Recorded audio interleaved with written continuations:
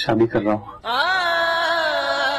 Congratulation अगर तुमने मुझे इनवाइट करने के लिए फ़ोन किया है तो मैं नहीं आ सकूँगी। इनवाइट करने के लिए कॉल नहीं की। इजाज़त मांगने के लिए की है।